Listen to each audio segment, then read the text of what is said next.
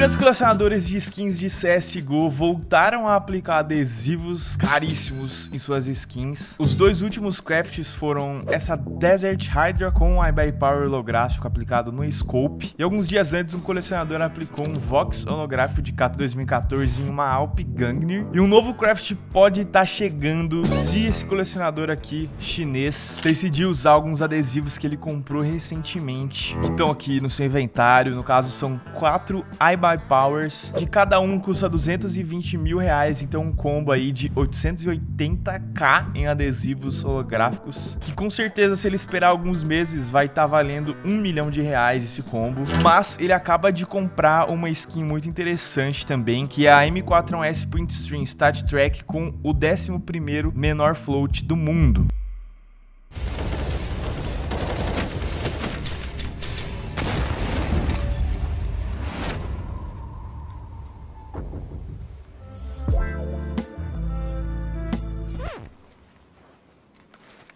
Parem, parem. O sacrifício por skins caríssimos já não vale a pena. Agora temos o K-Drop. Boa! K-Drop. Skin caro é mais simples do que pensas.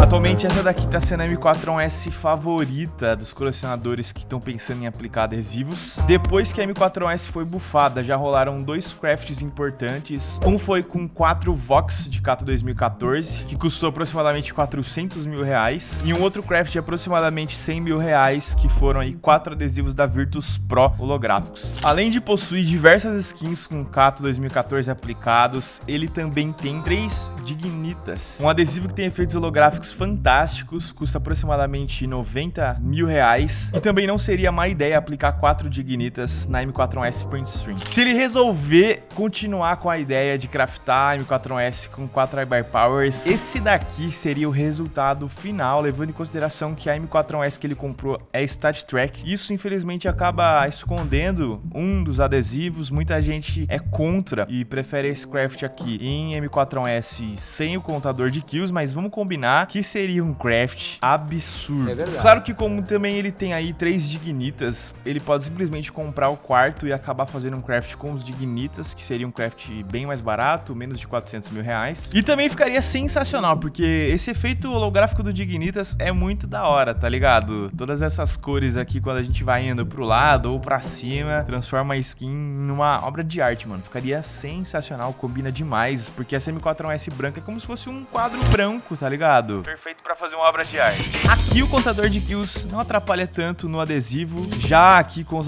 Powers eu preferia que fosse não Start Track. Ficaria bem mais irado. Para mim, esse daqui seria o craft perfeito no ano de 2022 para se fazer no M4S. A arma que tá mais bufada do lado do CT.